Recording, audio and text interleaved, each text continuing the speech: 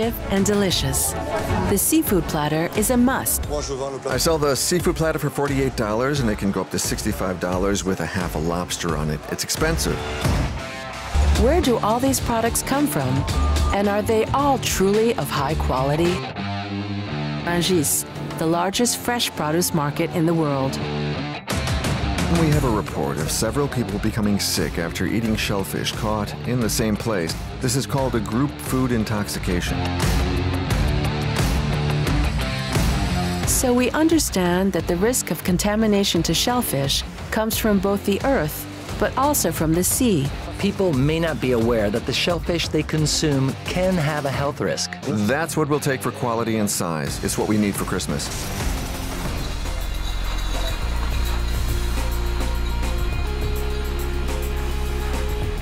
Gleister Brewing Company is basically a little project that uh, is filled with my brother and I's dreams and passions and goals all worked up for almost 10 years now. I mean, the, the joke in South St. Louis, you'd walk into any bar and said, what beers do you have? And they would say, we have them all.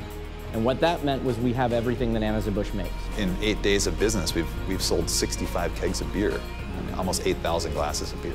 In a lot of ways, I think craft beer is about having a, a, beer and a beer that even makes you sort of think on its own because it's, it's, it's a flavorful thing that's been crafted by real people that work just behind these walls right here. The key thing in Oskar Blues is that we will slow down if we have to because the first thing first is the beer because otherwise we can't do anything else. Oskar Blues is about the people, but we all, but our life force is the beer. The beer has to be world class. For tens of thousands of years, man has eaten animals, which he first hunted and then learned to rear. The majority of people eat meat. They eat the flesh of animals who are cruelly treated.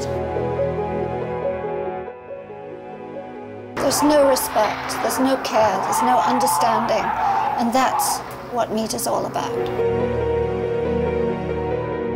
If you care about animals, you have to care to stop the cruelty in meat production. For a few years now, in the Netherlands and in the United States, the idea has been gaining ground.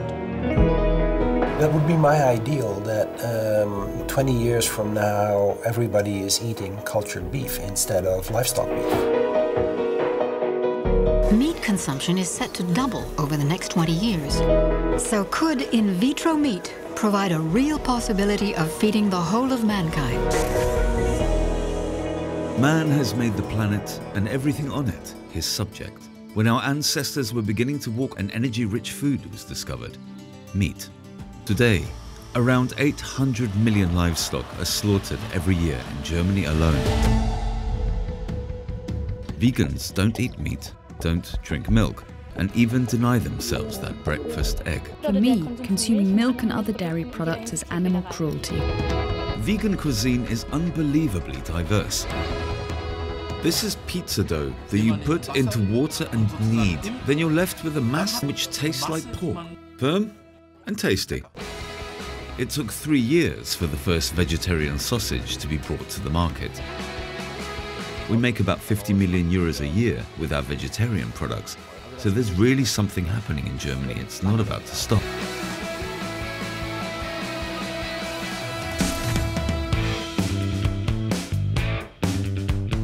A few years ago, Sam got sick after eating some contaminated chicken. Why am I resistant to every single antibiotic that they're giving me? It was a wake-up call.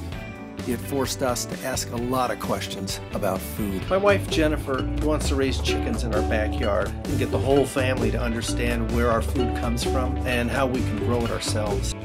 Concern amongst parents and pediatricians is growing. Everyone is worried that our children aren't going to live as long as we do. Childhood obesity, environmental estrogen, type 1 diabetes, genetically modified food, factory farms, antibiotic resistance, superbugs, dissolved fertilizer from the corn belt, E. coli, mercury, cancer.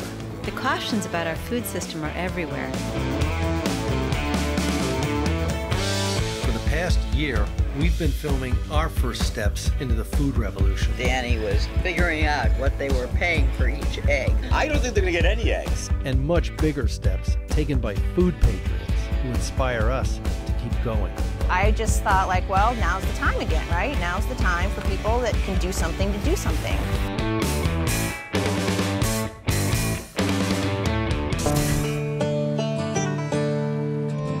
Frederick Zanella on the meander of an amazing river. Fred, or Zanel to his friends, does a special kind of fishing. Equipped with an ultra-lightweight natural bait rod, he uses a frame, which is a little wooden object that has been passed down from traditional Swiss fishing. This river, called the Drance, is where Fred chases fish with his unusual technique. Drance has a somewhat unique quality which sets it apart in the Swiss fishing world, thanks to the presence of huge trout, who swim up from Lake Geneva every year. The size of these fish, their strength and their craftiness can only be matched with Zanel's passion for catching.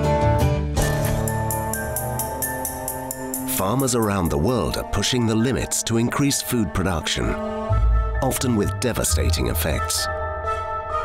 We have to double food production by 2050. Agriculture is by far the, the biggest impact that humans have on the environment. It's really important to move towards less toxic chemicals, uh, less toxic inputs. Could science really solve the upcoming food crisis? Or do organic farmers hold the key to feed a hungry planet? Considering such an increasingly critical situation, how could we manage to feed another 2 billion people? We have to solve those problems, or else a lot of people are going to die. Wheat, the basis of our diet, which we cannot do without. The yellow of the wheat, the blue of the sky. These are the colours of the Ukrainian flag.